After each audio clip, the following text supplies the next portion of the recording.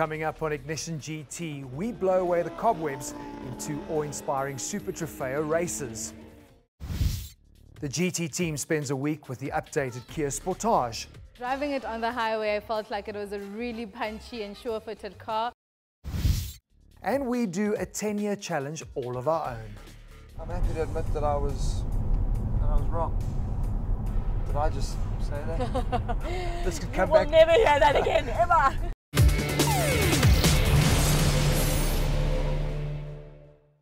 The 2019 season of the highly popular G&H Transport Extreme Supercar Series kicks off this coming weekend at Zwartkops Raceway, just outside Pretoria. Now, these races draw some of the biggest crowds seen at local circuits, and if you've heard and seen these cars in action, you'll know why. But on Ignition GT, we want to do more than just look and listen to cars. First and foremost, we want to drive them. Best I grab my helmets and gloves. Local motor racing needed a serious overhaul, and the Extreme Festival race days did just that, providing fantastic entertainment for the whole family on and off the track. Headlining the race days is the G&H Transport Extreme Supercars, which since 2012 has thrilled spectators with the hottest machines battling it out. Ferrari, Porsche, Aston Martin, KTM, BMW, Mercedes-Benz, and most recently Lamborghini. These high-end GT and high-performance saloon cars compete in six time-based classes and are seriously fast, with the Class A Plus and GT3 cars lapping the 2.4 kilometer Zwartkop circuit in under 61 seconds. That is extreme. They look great and sound even better. What's not to love? With just a few days to go until the opening round of the season here at Zwartkops, we thought we'd check out a new car on the grid. Oh, Boys I know really well. Ricky and Johnny and their dad, Jimmy, were the first guys to put me in a, in a race car, introduce me to the sport. So there'll always be a special connection with you guys. But in those days, it was all BMW. You are like the BMW boys of South racing. But now we're in Lamborghinis. What made the change? Uh, you know, Marius, I think it comes with a long, uh, a long line of racing. You know, I think we've we did all we could in a privateer BMW. You know, we built it up from scratch, um, and you know, I think we just hit a limit. You know, there's only a certain amount that you can do in a road car made into a race car. At the end of the day, if you want to run with the big boys, um, you've got to get something exotic. you know, last year I sat down with Ricky and we spoke, and we, we kind of saw where purpose built race cars were going in this country, and we decided to follow suit. And, you know, I spoke to Ricky. Ricky said initially he wanted a Porsche, and then a mate of ours found these two cars in, in the Czech Republic and said, What about Lamborghinis?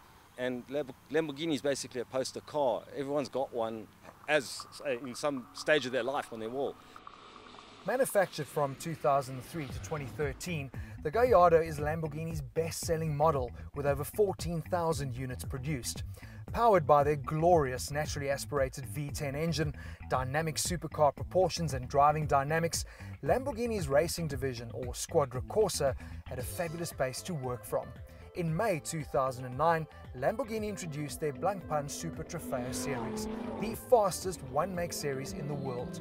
The series is contested in Europe, North America, Asia, and the Middle East. The LP564 chassis is reworked, and the odd firing 5.2 litre V10 gets a higher compression ratio, but is restricted to 570 horsepower, or in SA terms 419 kilowatts, and it comes fitted with their E Gear 6 speed transmission with paddles. With an FIA homologated roll cage, carbon body panels, and dramatic bodywork and aero package, this racing bull weighs in at just 1,300 kilograms. That's nearly 300 kgs lighter than its road going version. Gianni's car is fitted with Öhlins GT3 four-way adjustable shocks and lightweight single nut BBS rims which run on Pirelli slicks. And then of course there are the brakes. Six pot GT3 Brembo racing brakes with 378mm discs all round. This is the real deal. What do you enjoy about racing in the series from a driving perspective? I think from a driving perspective, it's the you know it, it's been able to battle it out with Porsches, Ferraris, uh, Lambos, and I think it's just the spectators like it. And from us, we like to have the spectators here. I mean, we drive with some of the best drivers in the country, and uh, what's better than the best drivers with the best equipment? It's obviously the best series. Can we stop talking cars? Can we start driving? Yeah, let's go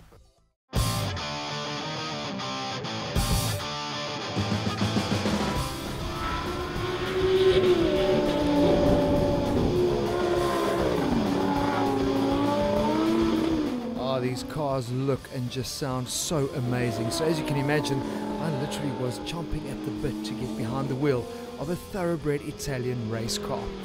As it would turn out, a little bit too exuberant. My time behind the wheel, sadly, way too short.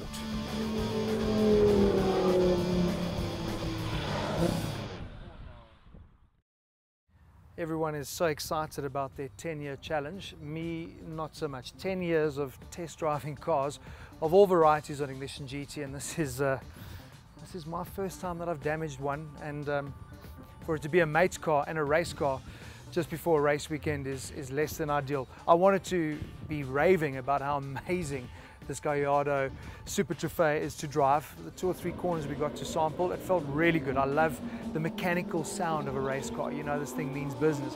And obviously being on full slicks just feels so good. It's been a while since we've been on those. Super, super direct on the steering, but we were literally just getting up to speed and um, I made a very rookie mistake. Um, because this is all FIA approved, the steering wheel actually has a release clip that you've got to pull to mount the wheel. I didn't do that. I popped the wheel on, it clicked, I thought it was on, and um, ended up with the wheel in my hand. Well, fortunately, it was a low speed crash, so there was no mechanical damage, and the G&H transport team did a fantastic job getting the Lambo looking super trofeo in no time. Well, you can catch Gianni and Ricky and the Lambos in action this weekend at the opening round of the G&H Transport Extreme Supercars at Zwartkops. Go on and support the guys.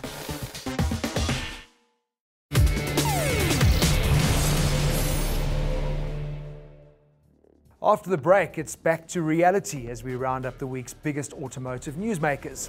From the Kia brand, this has to be one of my favorite cars that they are making. And later on, we do a 10 year challenge, Ignition GT style. I've got to have stuff for my hair dryers, makeup, appliances, all that sort of stuff that I need to groom myself as a man. Yeah, all right. Let's talk about the car.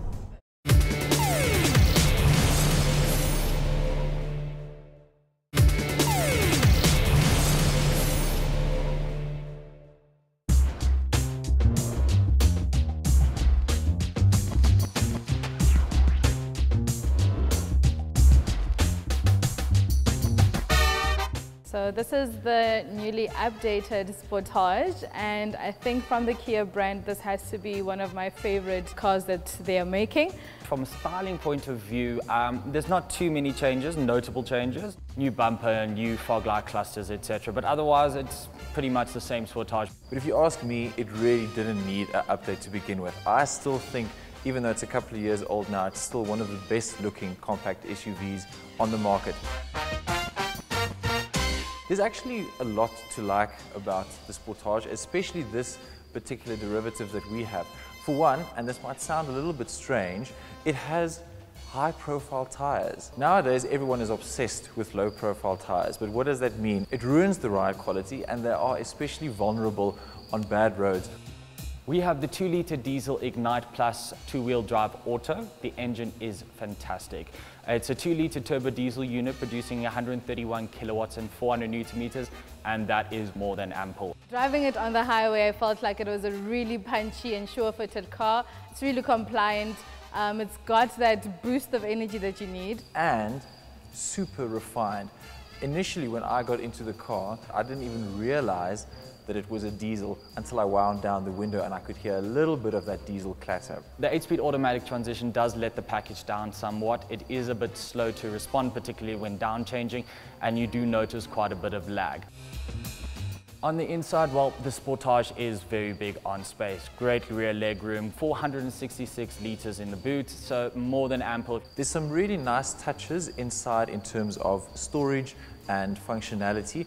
I feel like maybe had they put in a touch screen, even in the lower entry level, it would have given it a better value proposition. It is sparsely equipped, to be quite honest. Um, touchscreen would have been nice, electronic handbrake would have been nice, keyless entry and keyless start would have been nice. And then there are small things. For instance, on the front door panels, the armrests are made of a very hard plastic. So if you're driving long distance, it does become a little bit uncomfortable after a while if you're resting your elbow. To wrap up, the Sportage that we have here in this spec is 460 odd thousand rand. And that to me represents really great value for money. Um, it's big on space, big on power. If you can stretch your budget to one of the better spec cars, I think I would just for a nicer interior. Otherwise, there's really not much to fault on the Sportage, and it really is worth considering if you're shopping for a compact SUV. Nasser Al-Attiyah and the Toyota Gazoo racing team finally clinched the Dakar victory that has eluded them for the last seven years. Together with co-driver Mathieu Baumel, the Qatari piloted the South African-built Hilux to a convincing win, beating Nani Roma in the Mini Countryman by more than 46 minutes. Back home, the team members were treated to a hero's welcome at Toyota's headquarters in Sandton. There's no question that in the, uh, the motorsport world and more, that Dakar is the world's toughest race. It is extremely long. You know, this year's one was 10 days solid in, in unknown terrain. From uh, day five, uh, we believe uh, we are really uh, close to, to win this Dakar with the, with the Toyota for first time, you know. But uh, we worked very, very hard uh, last five days. Yes, uh, the, the scary feeling, it was the last day because, you know, the last day, uh, 112 kilometer, for me it was like 1000 kilometer, you know. Next week, we will be bringing you an in depth look at Toyota's first ever Dakar win, so be sure not to miss out on that. And finally, on a more somber note, 2018 was a tough financial year for most, and as we reflect on the latest figures from the National Association of Automobile Manufacturers of South Africa, it's clear to see that consumers continue to tighten their belts. December, traditionally a good month for those in the business of selling cars, saw 39,984 vehicles sold, a drop of almost 2% compared to the same month in 2017. Toyota South Africa ended 2018 with a bang, with combined sales for the year showing a 4.5% increase over 2017. Mahindra continued its penetration of the South African market with the highest monthly sales ever in December, growing by 26%. Not to be outdone, Suzuki sold 12,123 units in the last calendar year and grew by well over 30%. At least for some, the proverbial dark cloud had a silver lining, and despite the increase in global political uncertainty, NAAMSA projects a 1% growth in total sales for 2019.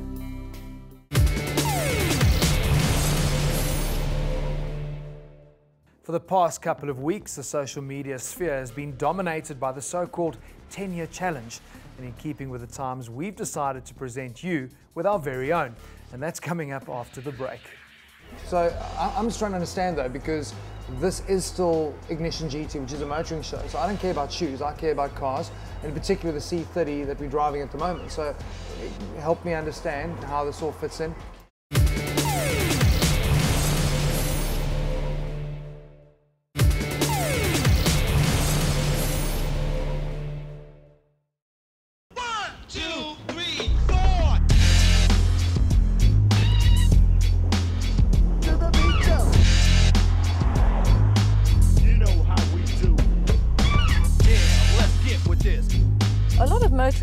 Have what they call long termers, which is a car that they assess over a longer period. We at Ignition GT all own our own cars.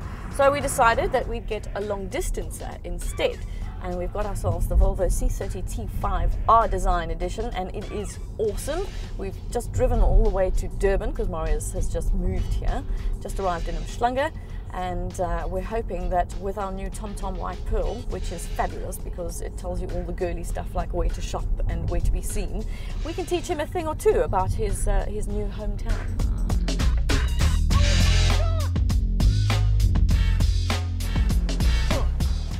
Lindsay Vine, this is not the go-karting rooftop gateway, it's a flinking shoe store. I know it is. I know it is. It's not any old shoe store though. This is Nine West. Yeah, and? and? well, obviously I don't know Durban that well, and so I got myself a little tom tom, a ladies tom tom called the White Pearl to to come all the way here, and it's got all these shoe stores. Nine West being one of them. So I'm just trying to understand though, because this is still Ignition GT, which is a motoring show. So I don't care about shoes, I care about cars, and in particular the C30 that we're driving at the moment. So help me understand in my pea brain how this all fits in. I'll tell you exactly what it has to do with it. Apart from the fact that it's a beautiful car, gorgeous. Um, that car, okay, Nine West doesn't have shoes for men in it, not the store anyway. Like the C30, some people might say that's a, a lady's car, but actually, I think it's all about style. And that car, for the metrosexual man who wants to be well heeled, I think it's, uh, yeah, there's a loose connection. I suppose, especially with, especially with the R design, it certainly does look a bit more masculine. But it is quite funny. I mean, being a Scandinavian uh, vehicle, Scandinavia's always been known for its design. They've got amazing stores like Menu, and then you look at Volvos of the past, were always like a box for a family with 2.5 kids. Exactly. It was just so, but that's changed. It was always the picket fence car, and it's not like that anymore. I mean, the C30 T5 with R design is definitely your up and coming uh, singleton in the city kind of car. So am I getting a makeover as well? Do you need one? The C30 is a great option for long distance driving in South Africa. It has all the safety that Volvo has become famous for, and a new iteration of this very car, unveiled at Frankfurt, will feature an even sportier chassis, which Volvo says is an additional bonus for safety because it prompts a more alert feeling at the wheel.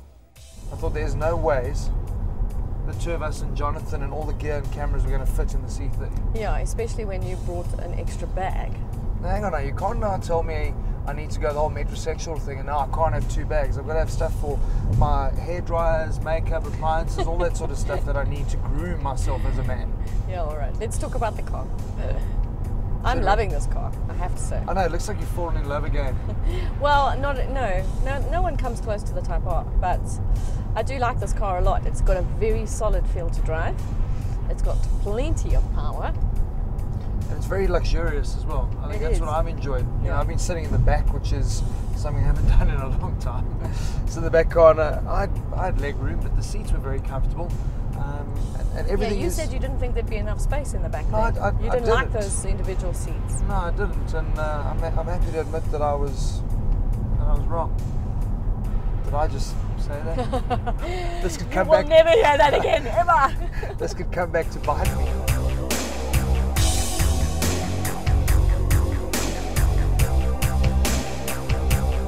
Do you think? Whole metrosexual look. I've shaved. I'm even wearing a pink shirt. It's a good start. It is a good start, but I have to say that vetkoek's not going to help you any. Although the lovely, pretty, frilly green tablecloth it will help. Yeah, this is this is original farm store life, isn't it? The Dragon's Cave. Ginger beer, vetkoek, it's perfect. Mm. And I've done this Durban Joburg trip so many times, but always on the N3. Now with Tom Tom, we're getting to see some pretty cool old roads, and uh, the C30's enjoying them. Indeed, we took the Bergville Colenso off ramp, and we went through the beautiful little town of Winterton. Did you blink?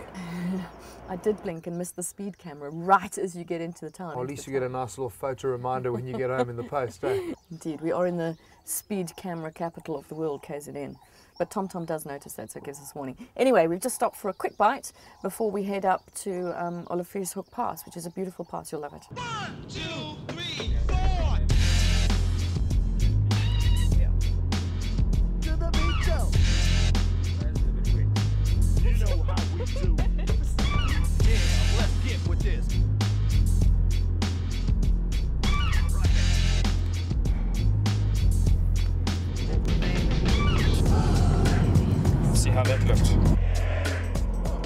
think that the type of person that's going to buy this, whether it's a guy or a girl, is really going to be somebody who's got an attention to detail and likes something different. Because that's what it is. It isn't your Audi, it isn't your, your VW. No. But when you're talking the T5 with R design on it, it's all about racing. It is 169 kilowatts. That's plenty. of The 2.5 litre turbocharged engine. I can see why in Sweden they would actually race these. Compact, uh, very firm suspension, but easy on the drive. So it does absorb all the all the bumps and things on the road. But Yeah. from a handling point of view, it's, it's really precise. I know we in the we in the automatic, but um, the reaction. It's a when- smooth when- box, eh? Yeah, when it drops down, it's uh, it's been very impressive. Still, even with R design, they haven't sold many of these C30s. Hasn't been a big seller at all. Um, and I believe resale is not great either. I think that's where the beauty is. I think if people actually give Volvo a try, try something different, Mm. get into the vehicle, they are going to be pleasantly surprised. I think it is just the typical South African stereotype that if it's not German, if it's not what everybody else is driving on Yeah. the road, uh, you're not going to try. Yeah. Anything that says that you're intelligent, Yes. if you look at it, it's almost like it's almost like you know I've got a keen eye for design. I know where I'm going. I'm I'm civilized, but I still like to have my fun. The route from Durban back to Jozi can be somewhat tedious, especially if you've got a passenger waffling on next to you. And expensive with all those toll roads. If you're behind the wheel of a sporty performer that begs to have its legs stretched but also wants some corners to cozy up to, the Oliphant Pass is definitely worth a try.